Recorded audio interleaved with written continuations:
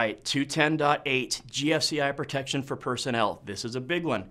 Anytime we talk about 210.8, you need to be paying very close attention, especially in 2017. I've been teaching code changes since 2002, and I don't think I've seen a bigger code change in 210.8 than we're going to see this year. All right, here's what it is. New locations for GFCI protection were added, and clarifications were made to help in uniform enforcement. I think you're really going to like what they did here. All right. When it comes to GFCIs, we've added new requirements every single code edition since 1971. They first came into the code in 1971, and we have added GFCI rules in every single code edition ever since. So let's get into the kind of the main rule here 210.8.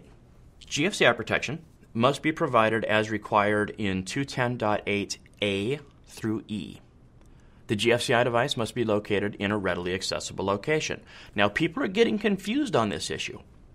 The test and reset button has to be readily accessible. All right, now, if you go to uh, Article 100 and you look up the definition under accessible, comma, readily, readily accessible means that it's capable of being reached quickly without requiring a person to climb over or under an obstacle, without having to use a portable ladder, or without having to use tools right? So you got to be able to just walk up to it, push the test button, push the reset button. Here's where everybody's getting thrown off.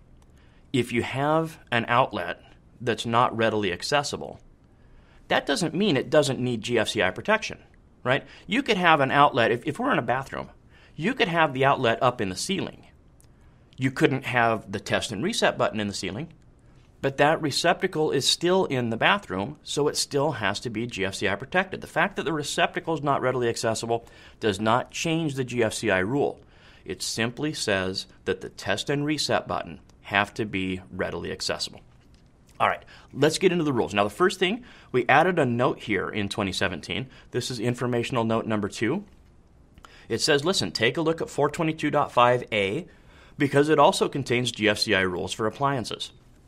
210.8 is not the only place in the codebook that has GFCI rules. We have rules for swimming pools in 680. We have rules for elevators in Article 620. We have rules for appliances in Article 422.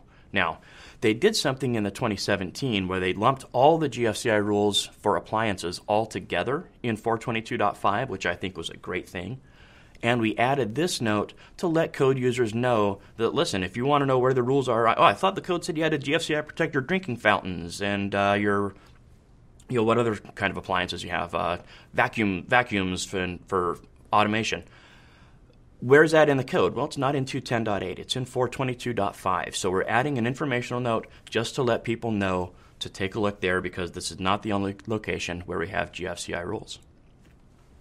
Now, this is a new change 210.8.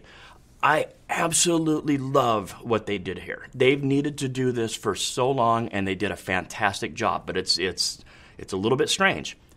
When measuring distances for GFCI protection, the distance is the shortest path that a cord would take without piercing a floor, wall, ceiling, or fixed barrier, and without passing through a door, doorway, or window because you know cords can't go in walls, right, as we know. So you're not going to measure it through a wall.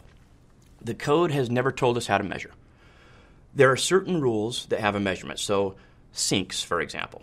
You're going to see a rule here in a second that says, listen, you have to have GFCI protection within six feet of a sink.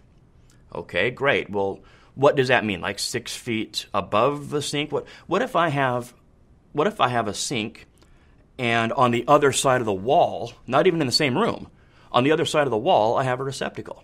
Is that within six feet of the sink? Well, I mean, geez, like I guess if you if you read it literally, I guess that is within six feet of the sink, but not anymore. Not for the purposes of this rule, because now we're not measuring it just like as an all-encompassing, you know, uh, radius around the sink.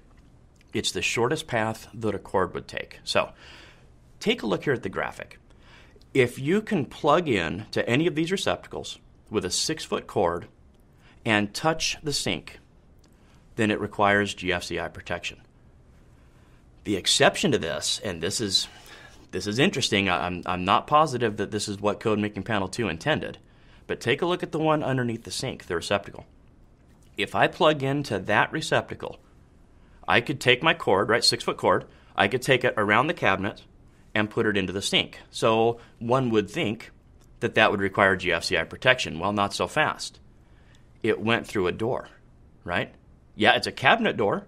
It's not a it's not a typical doorway that, that a person would walk through, but the code doesn't say that. The code says passing through a door or a doorway or a window. So if it has to pass through a cabinet door, that gets rid of the GFCI protection requirement. So it's kind of interesting.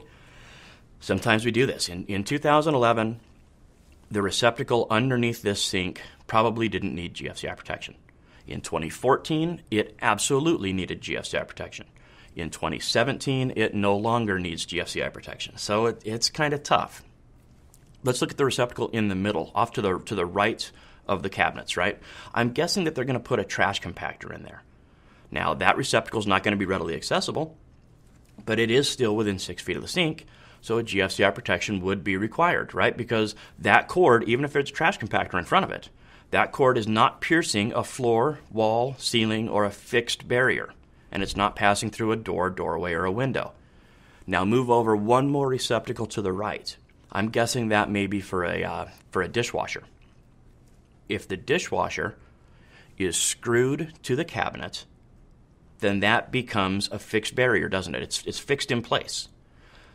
That receptacle would not require GFCI protection because now the cord would have to pass through a fixed barrier, and that gets rid of the measurement. So I love what they did here. It's going to remove arguments, but it's probably likely to start some arguments as well. So when it comes to this, it, it's a tough thing. It, it's yeah, it's black and white, but there's maybe still some room for interpretation.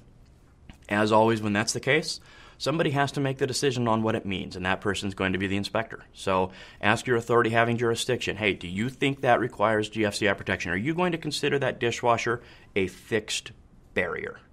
Right? Are you going to consider the cabinet door a door?